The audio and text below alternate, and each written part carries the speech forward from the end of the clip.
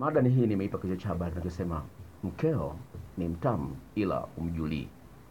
Mkeo ni mtamu ila humjulii. Well, kama mwanadamu tumeumbwa na kupenda kitu kizuri, na kila kitu kizuri kina nguvu ya kumvuta mtu. Ndio maana Mungu kwenye matunda ameweka utamu, kwenye nyama kuna utamu wake, kwa kila kitu kina utamu wake, kina kina mvuto fulani. Sasa nimeleta mada hii kutokana na kesi nyingi sana za wanaume ambao ni wasaliti, alafu wanakuwa wakali wanapoulizwa au wanapohojiwa, hawataki simu zao zishike na vitu kama hivi. Jambo hili linanisikitisha sana, kwa sababu gani? Najua linaumiza wanawake sana sana, sio kidogo. Na kutokana na ukweli wenyewe ni kwamba Mungu alipoumba kila mwanadamu aliyemuumba alisema kitu hiki nimekiumba kizuri. Kila alichokiumba alisema kizuri, kila alichoumba ni kizuri. Kila kitu kilichoumbwa na Mwenyezi Mungu ni kizuri, kwa sababu Mungu hakosei.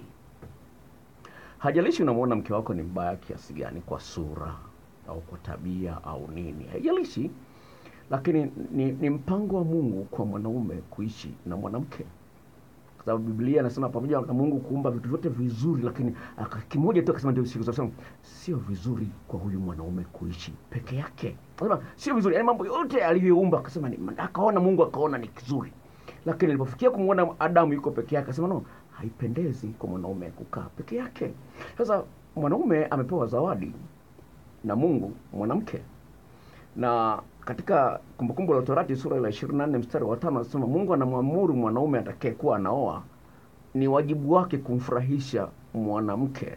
Sawa, ni wajibu wake kumfurahisha mwanamke. Kumbukumbu la Torati 24 mstari wa tano. Sasa ni hivi, naposema mke wako ni mtamu ila humjulii, ni jambo la msingi sana ufahamu kwamba huyu mwanamke uliyemuona mara ya kwanza ukamtamani, ukampenda, ukaamua kwamba huyu ndiye atakuwa ni mwanamke wa maisha yangu, ana thamani kwako na mbele za Mungu vile vile. Kama uamini Mungu yupo, hiyo isikusumbue sana akili. Naomba unisikilize, tunajifunza kitu siku hii ya leo juu ya mwanamke na thamani yake.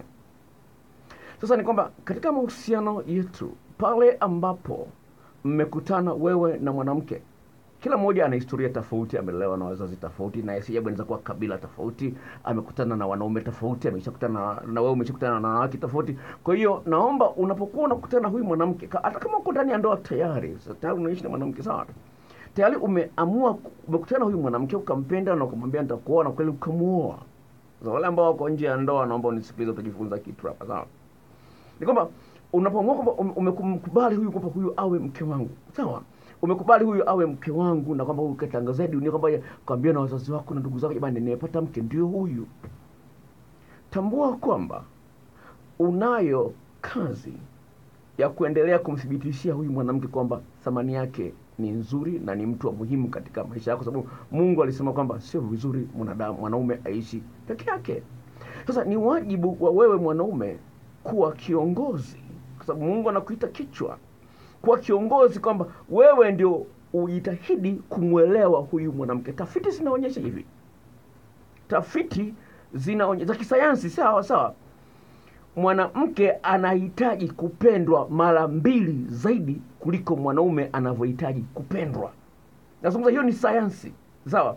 Nitaileta Jumapili ijayo, sawa, ambayo nitaleta mada inayosema kwamba mwanaume uliye naye ni mtamu ila humjulii. Hiyo mada inakuja, sawa. Nitaelezea kwa kina kwa nini nimezungumza hivyo, sawa.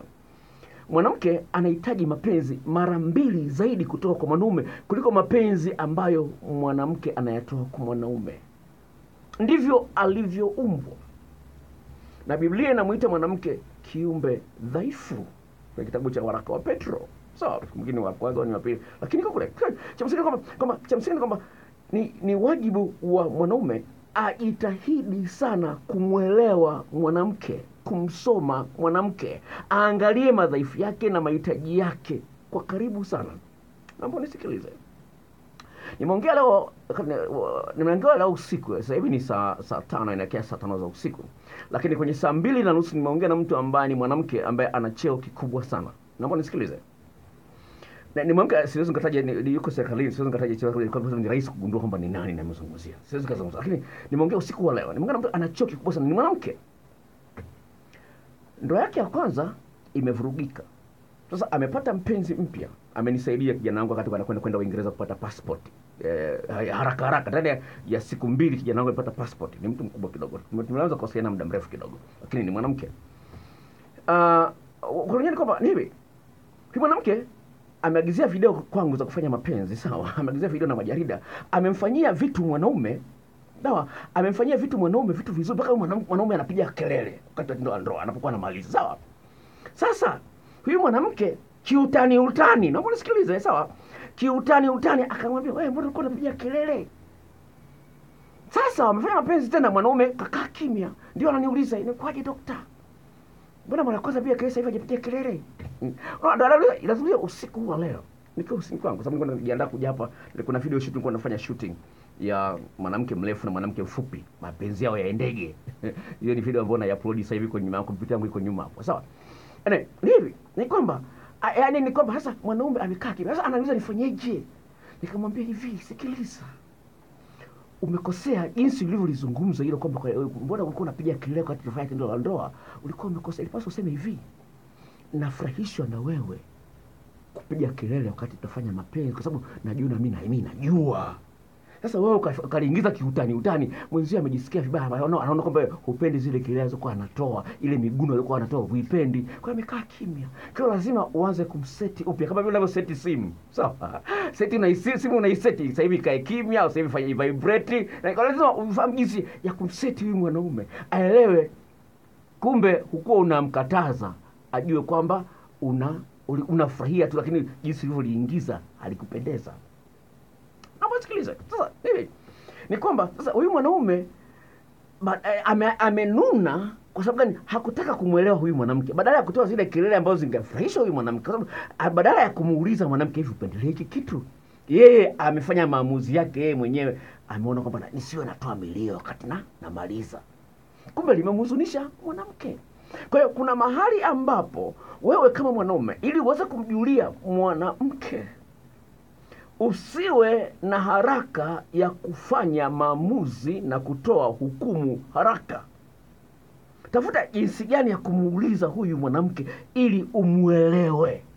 Namsikiliza kwa sababu anahitaji kueleweka. Sasa yeye atafanya vitu atasema vitu kwa sababu hajui jinsi gani hivi vinakuathiri wewe mwanaume Kwa- si wanaume tunapenda ile hali ya kujua sisi tunajua kila kitu na- nini, lakini ni jinsi gani utamsaidia mwanamke akuelewe wewe na wewe umwele, umsaidie kuweza kumwelewa yeye. Kwa hiyo ukiwa na haraka utamhukumu utamtafutia mchepuko. Kitu ambacho sio sahihi.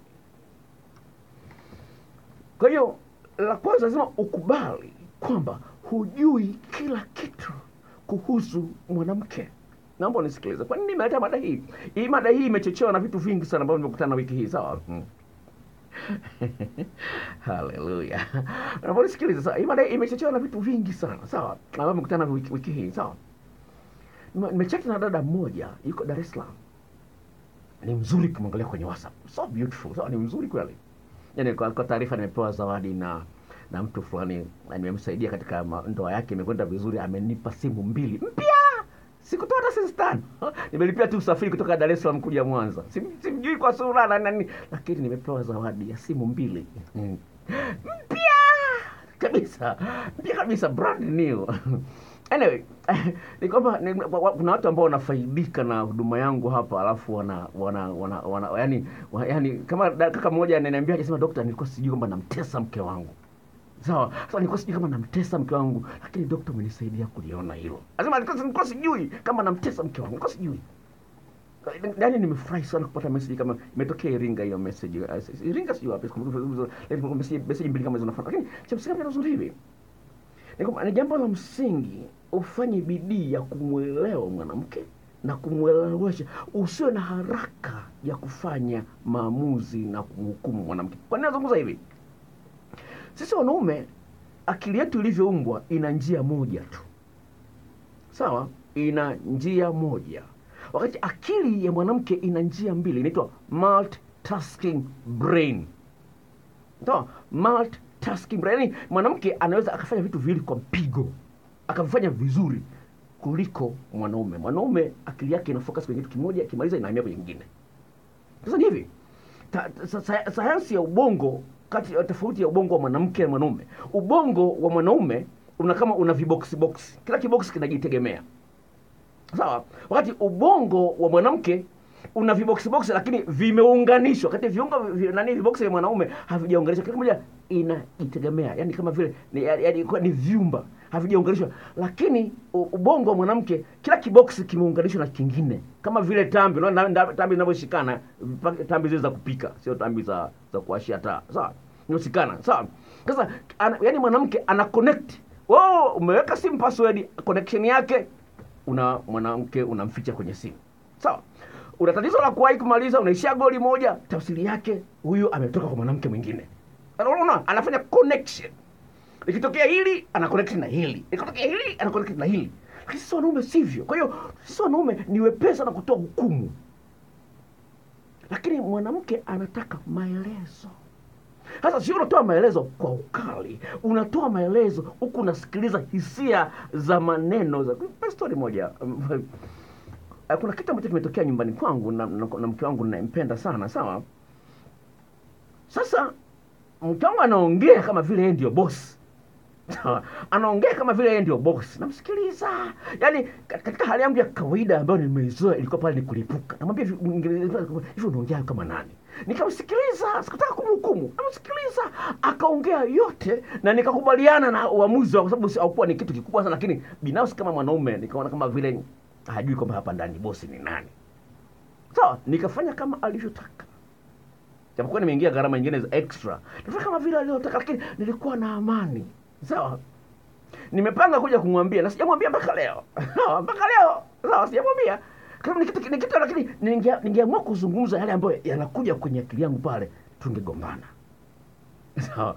Lakini sikuamua kuzungumza sio kitu ambacho kina matokeo makubwa. Lakini cha msingi ni kwamba kwa wanaume wengine katika mazingira kama yale angemwambia angemwambia pale na kumweka kwenye nafasi yake kwamba na wewe uwezi ukaniamuru kufanya cha kufanya.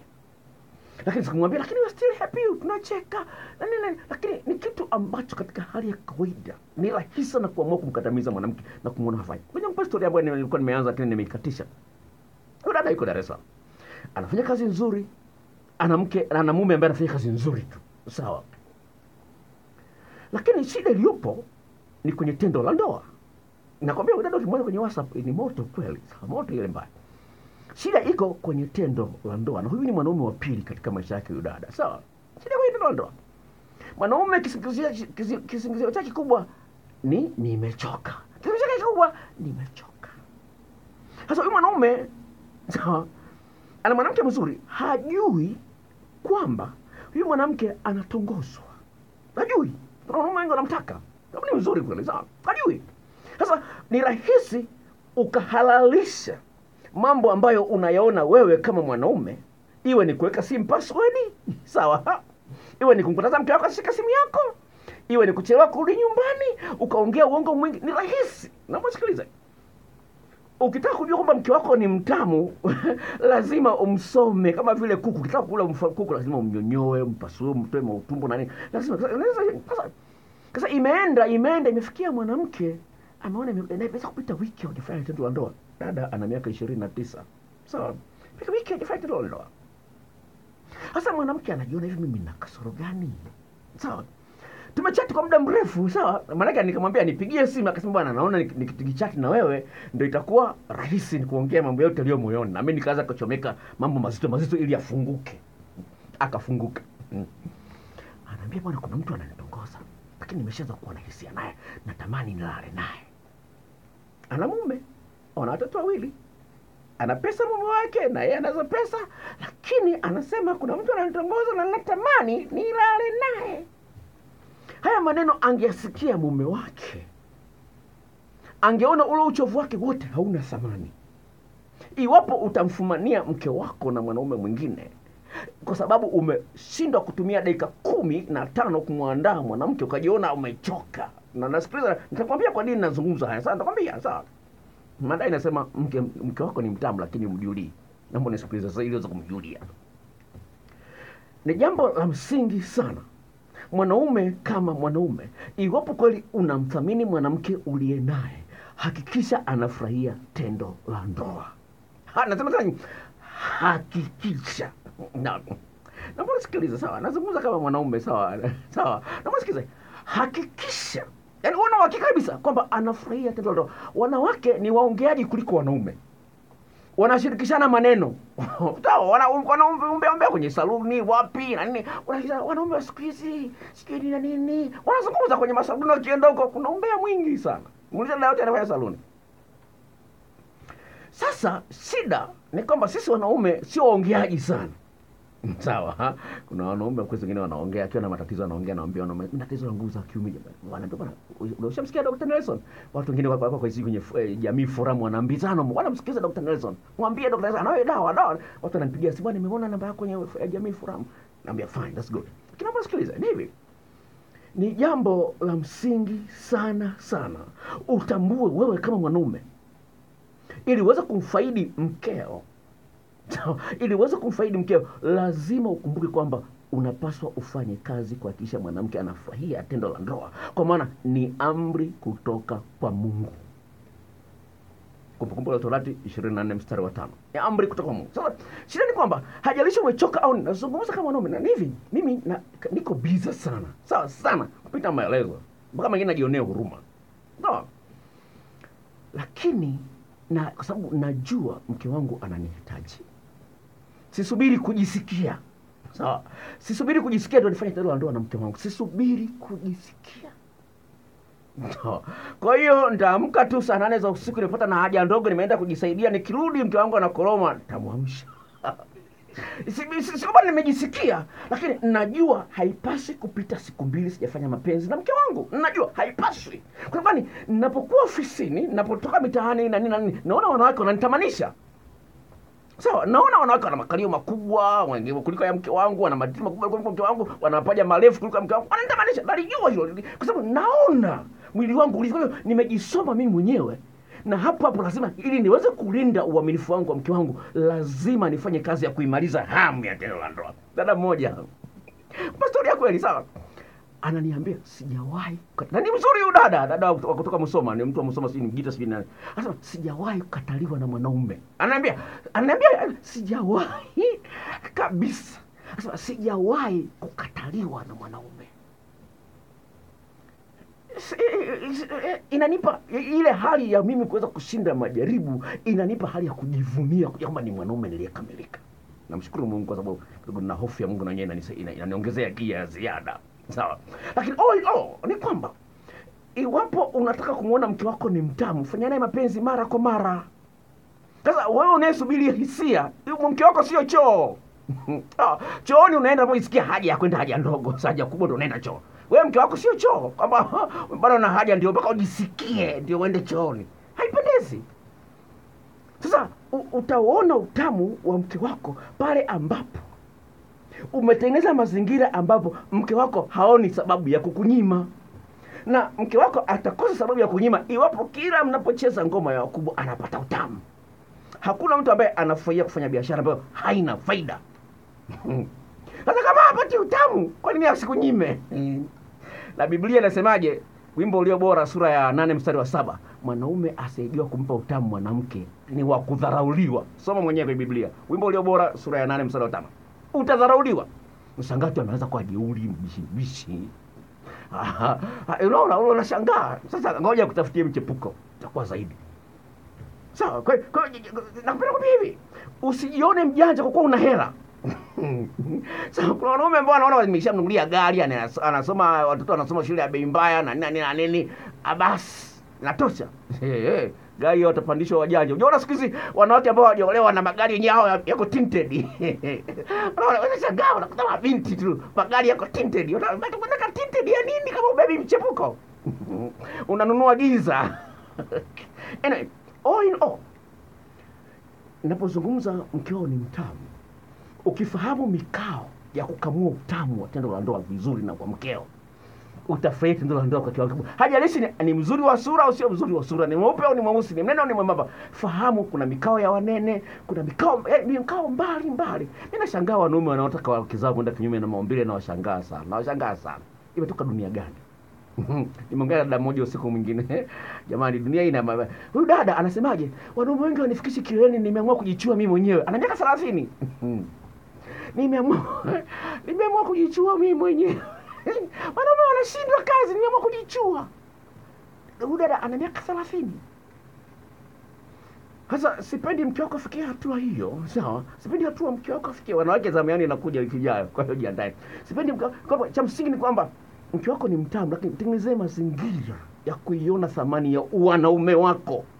Unajua nini? Ma- Namalizia thamani, namalizia nani, smart boy, namalizia asilimia kubwa ya wanaume mnafanya mapenzi ya kuigiza ambao nisikilize hapo, nitaongea kitu ambacho kita- kita- kitakaa kwenye kila asilimia kubwa ya wanaume mnafanya mapenzi ya kuigiza. Maana yake nini? Ukiangalia tamthilia sawa, ukiangalia tamthilia hawawezi kufanya tendo la ndoa, wata act kama wanafanya tendo la ndoa, lakini hawafanyi. Watajifanya wanaingia sasa chumbani, lakini hawafanyi. Kadhalika mwanaume ambaye hafanyi tendo la ndoa la kiwango cha juu na mke wake anaigiza kupenda sawa anaigiza kupenda na haipaswi kuwa hivyo. Kwa hiyo wewe mwenye mwanaume ambaye inapita siku tatu hamjafanya tendo la ndoa, tambua mume wako anaigiza, hakupendi. Na kama hakupendi, tafuta jibu, kwa nini sipendwi? Na hii ni mada inakuja wiki ijayo Jumapili, jiandae, inakuja mada hii ili niweze kuzoea mwanaume mwana, mwana, mwana mtamu jinsi ya kumjulia mwanaume. Mwanaume ni mtamu, lakini jinsi ya kumjulia, hiyo ni mada ambayo inakuja wiki ijayo.